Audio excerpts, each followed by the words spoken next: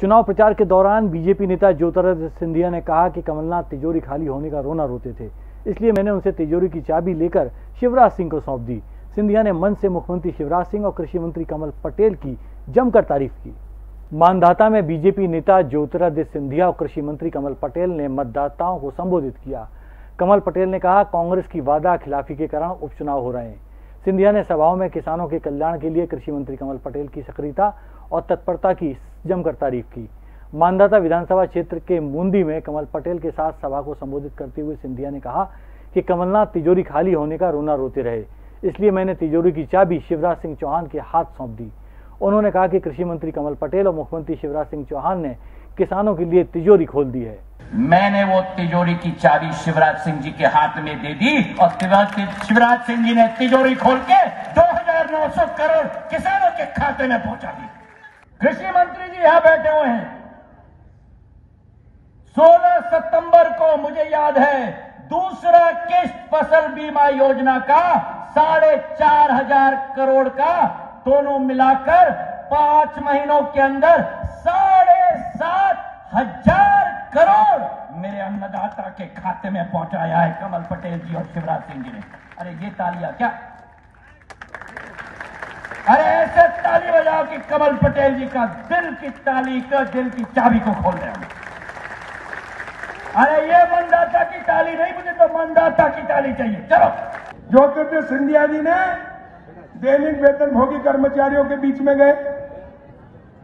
उन्होंने कहा कि आपने कहा था कि सप्ताह आते से आपको रेगुलर कर देंगे, नियमित कर देंगे। अतिथि विद्वानों के बीच में गए, उनको नियमित कर देंगे। किसानों के बीच में जाए, किसान कहते थे, दो लाख का क्या हुआ? लेकिन दो लाख का कर्जा माफ़ नहीं हुआ। उसके बाद में कहा, महिलाओं के समूह, ये महिलाएँ बैठी मातृशक्ति।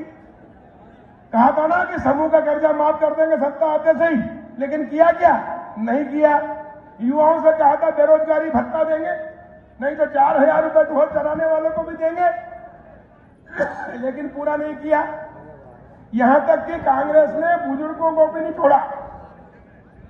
विधवा, विकलांग, दिव्यांग, बुज़ुर्ग, वृद्ध, सबसे कहा था कि एक हज़ार पेंशन मुख्यमंत्री शपथ लेते थे सबसे पहले देगा गरीबों को। लेकिन उनको भी नहीं दिया। और इसलिए सिंधिया जी ने कमलनाथ जी से कहा छह मंत्री और बाईस विधायक, पच्चीस विधायकों ने कहा। लेकिन कमलनाथ ने नहीं कहा। ना कहा कि कुछ नहीं। जब मंत्री और विधायकों ने कैबिनेट की बैठक में, विधायक दल की बैठक में कमलनाथ जी को घेरा और कहा कि जो वचन दिए हम जनता के बीच में जा नहीं सकते और इसलिए वचन पूरा करो। कमल पटेल ने सभाओं को संबोधित करते हुए कहा कि यह उपचुनाव इसलिए हो रहा है क्योंकि कांग्रेस ने जो वचन दिए थे, वो पूरे नहीं किए। उल्टे जनता को लूटने का काम शुरू कर दिया।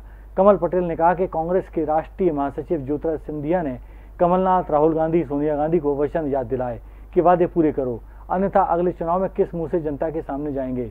लेकिन जब उनकी बात नहीं सुनी गई तो जनता के कल्याण के लिए वो भाजपा के साथ आ गए और प्रदेश में सत्ता परिवर्तन से व्यवस्था परिवर्तन संभव हो सका। उन्होंने सरकार की स्थिरता के लिए भाजपा के पक्ष में मतदान करने की अपील की। संगीत की स्वर लहरियों से। सांस्कृतिक ताने बाने तक। चंबल के पीड़ों से नक्सलवादियों के गढ़ तक झोपड़ी से महलों तक ठेलों से मेलों तक पगडंडियों से सड़कों तक गाँव से शहरों तक व्यापार से उद्योगों तक। राजनीति से कूटनीति तक। दखन न्यूज़। आपके हक।